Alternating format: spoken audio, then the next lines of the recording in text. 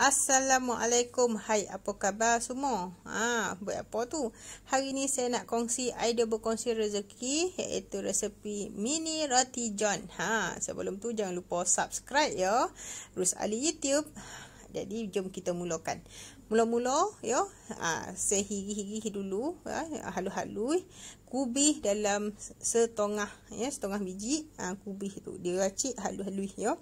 Dan saya gunakan tujuh biji uh, tolo ya yeah. macam ni saya pakai grade A lah ha lepas tu saya gunakan uh, satu batang timun jepun ya sebab dia punya biji itu tak uh, apa tak besar-besar kan dan uh, garam secukup rasa ya uh, minyak dan juga kita gunakan sobok uh, kari kaki ayam dan daging tu ya dalam dua sudu macam tu uh, kau nak ada mayonis ada hitam dan sos cili uh, ni pilihan yang penting kau nak ada mayonis dan juga sos cili lah uh, ada hitam tu pilihan ya uh, dan jangan lupa kita kena pakai Ah tu roti tu ya. Ha, roti roti macam roti John tu ya.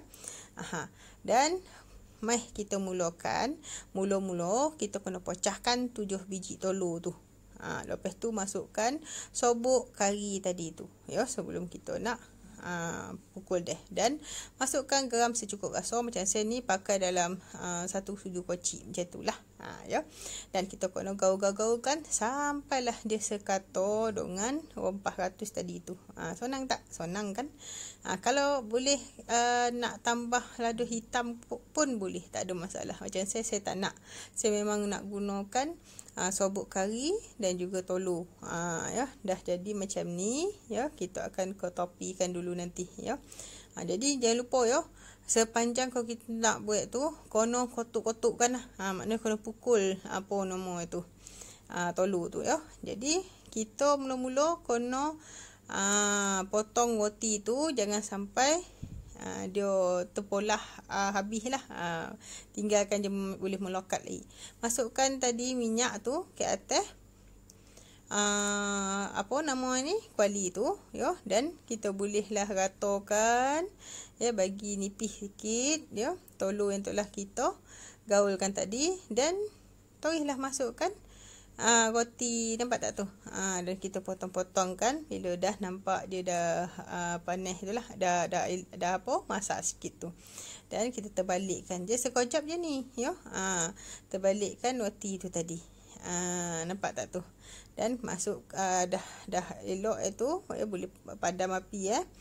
Ataupun letak api slow ya. Ha, masukkan bahan-bahan yang tadi tu. Ha, ya, timun eh, kubi eh, lepas tu ha, bolehlah kita taburkan apa nama mayonis ya ha, sos cili dan juga ya sos lado hitam ha, senang tak nak buat eh senang lah kan ha, ni adalah mini roti john lah. Ha, ni kita boleh buat banyak-banyak ya. Sama ada kita nak uh, bolah tengah ataupun kita nak bagi dia makan macam ni pun boleh. Tak ada masalah. Ha, macam ni boleh bolah tengah ataupun tak nak bolah tengah pun boleh. Kalau kita bolah ni senanglah sikit. Dia nak makan beramai-ramai sikit kan ha, jadi tu lah masukkan dalam bokeh macam ni ha, ya ha, ataupun kalau nak bokeh lain pun boleh tak ada masalah ha, macam saya saya pakai bokeh ni untuk berkongsi idea ataupun kita boleh ya uh, masakkan macam tadi saya bulat-bulat ni kan. Ha, ni kita ratakan dia ke apa uh, menogak. Uh, macam ni kan. Bila buat macam ni, cara macam ni, jadi kita boleh letak roti tu banyak. Ha, jadi nak masukkan roti tu, ya. Pastikan uh, jangan bagi ke semua eh. Uh, apa nama tu tolo tu uh, banjir macam ni kena bagi dia sekata dulu. Ha, dan pastikan uh, apa nama eh tolo tu ha, dia tak koring lagi. Maksudnya dah habis masak semualah. Dia mesti macam berair sikit. Ha, barulah dia melokat doket roti tu. Ha, macam ni kan ha, kita dah rata-rata kan ya sesuai lah lepas tu kita masukkan ha, roti. Jadi tak adalah roti tu dia tanggal.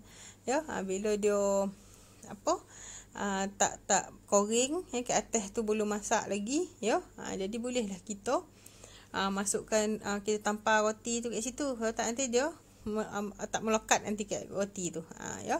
Dan bila kita dah ni ha kita potonglah atau roti tu. Ha, jadi jimat dah sikit minyak, jimat sikit gas kan. Ha, boleh selagi boleh pudat ha, kita masukkanlah semua ha, roti tu ya. Ha, jadi senang kan nak buat eh. Nampak tak tu? Ha, kan mudah tu. Ha, ha nampak tu. Ha, jadi dah sonang dah dah masak ni jangan lupa ya ha, boleh gunakan api slow ataupun tawih padam sebab nanti kita nak dressing yang ke atas ni kan. Aha. Jadi macam saya hmm, bahan tak apa nak cukup dah tadi ya. sebab dapat eh 7 biji tu dalam uh, dapat dalam 25 Uh, uh, 25 apa nama ni mini roti john uh, macam ni uh, apa nama itu kita jangan letak banyak-banyak sangat ya uh, bahan-bahan itu ya macam timun tu boleh letak uh, satu tu bahagikan dua sebab mini roti john ni dia tak macam roti john yang besar tu kan Uh, dia apa kocik sikit nanti terburai-burai bila orang makan nanti. Uh, jadi kita nak memudahkan orang makan, uh, letak just nice uh, dalam tu. Uh, macam ni uh, yang saya buat ni. Uh, yang penting uh, dressing itu dalam itu ada mayonnaise eh ada sos cili eh uh, cukup kat situ kan. Uh, kita boleh potong ataupun nak nak jadikan dia macam ni je pun boleh tak ada masalah. Uh, nak biar dia macam apa? Macam ni halah. Uh, apa menogak macam ni ha je kan. Maknanya tak ada potong-potong lah roti ni satu bulat-bulat ni pun tak apa. Uh, tapi saya galakkan kalau kita potong lah supaya bila orang yang kita nak bagi makan tu eh dia boleh makan uh, apa berkongsi dengan orang lain macam tu. Jadi cara kedua uh, saya buat adalah uh, saya tutup ataupun saya bungkus dengan menggunakan plastik ya. Ha, macam ni ha. Saya ingatkan ada plastik yang macam burger tu dah habis pula. Jadi saya gunakan plastik yang orang buat masukkan lauk tu ya. Saya uh, gunting dia ya. Uh, jadi saya bungkus guna tu pun boleh tak ada masalah. Uh, kan jimat kan? Dan saya selitipkan dia. Uh, tu dah uh, dah siap kan? Uh, macam ni lah. Uh, samalah uh, dressing eh macam tu. Ya bila kita kalau elok lagi kalau uh, apa timun tu dibahagikan kepada dua. Sebab kalau bila dia besar sangat nanti susah nak makan.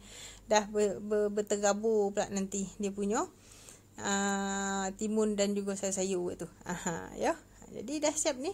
Bolehlah kita bungkus-bungkuskan lah uh, untuk diberikan pada sesiapa yang kita nak bagi janjikan tetangga ko ya.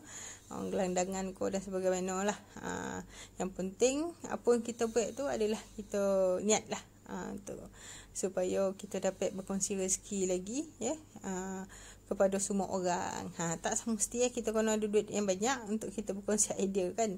Berkongsi idea pula, berkongsi rezeki. Ha, macam ni ha. Ya. Bajet ini dalam beberapa ringgit nah yo. Ha, alhamdulillah yo. Ha, jadi saya masukkan dekat dalam bokeh ni ya untuk saya bagi ke orang ya. Um, bajet eh roti tu dalam 2 ringgit RM2 setengah macam tu tolong jelah uh, kita anggarkanlah dalam 60 sen satu tolong tu.